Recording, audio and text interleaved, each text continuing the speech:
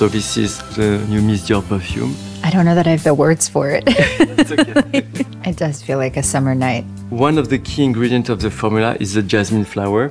You have been in the jasmine fields in Grasse, I know that. And I love jasmine. It's And you love favorite. jasmine. There is a little bit of mandarin oil Mm. that brings a sparkle on top because there is something like almost bubbly and juicy and fruity, almost like a sugar candy, a little bit. Yeah, it's know? like exactly like barbapapa. Totally.